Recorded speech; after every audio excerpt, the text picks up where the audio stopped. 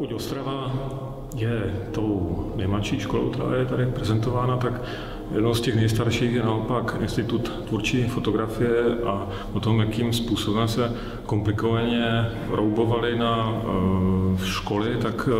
uh, které zastřešovaly potom fungování těch uh, uměleckých škol, tak je právě doklad toho Institutu tvůrčí fotografie, protože ten je součástí filozoficko-přírodovědecké fakulty Opavské univerzity. A vznikl záhy hned po roce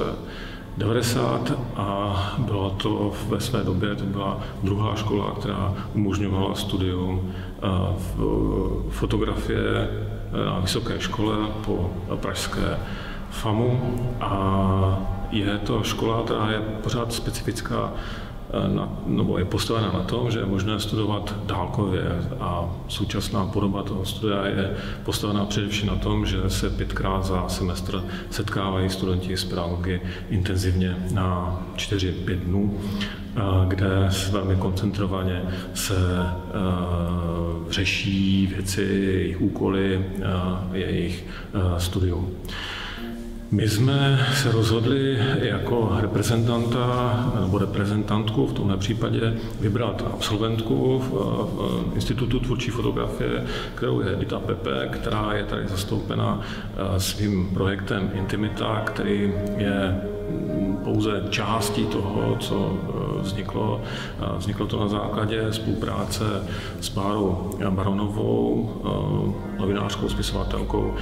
která zpracovávala příběhy šesti žen a Dita Pepe hledala způsob, jakým eh,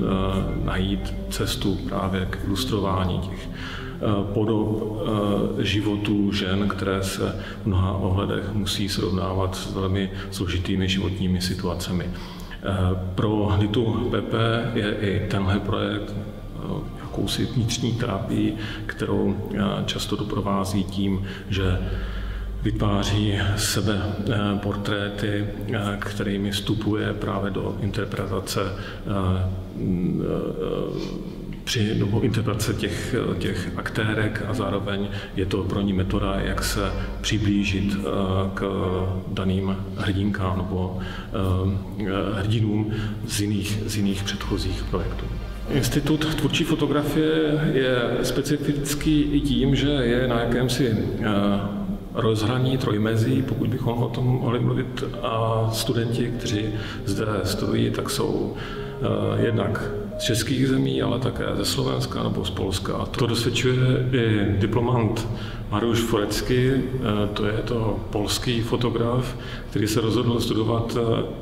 na institutu, i když on sám za sebou už má poměrně bohatou fotografickou kariéru. Eh, je to reportážní fotograf, který se zabýval situací v postkomunistických nebo spíše v postsovětských republikách, ale také v Polsku a soubor, který reprezentuje jeho diplomovou práci, tak se věnuje lidem Polsku, kteří se díky různým eh, transformačním procesům ocitli někde mezi, mezi těmi, kteří prohráli a mezi těmi, kteří vyhráli. Vyhráli v podobě bohatství a prohráli v podobě bídy. Jsou to ti, kteří pořád ještě mají nějaká očekávání a vybíšlí strategie a přístupy eh, ke světu, které by je mohly eh, vyzvednout a dostat se eh, do právě role těch, kteří vítězí. Slovensko, slovenskou scénu reprezentuje Petr Korecký, který aktuálně si pro diplomní projekt vybral téma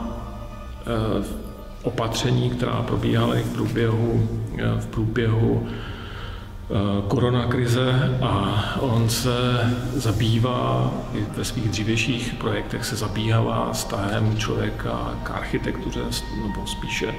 větším celkům v podobě měst a i na tomhle projektu pracuje s záznamem města, které ale se už objevuje bez lidí. Je to jeden z takových momentů, který asi zažil každý v dětství, když si představoval, co se eh, může ve městě odehrávat, pokud by tam nebyli právě lidé, kteří jsou každodenními uživateli a tvůrci města. A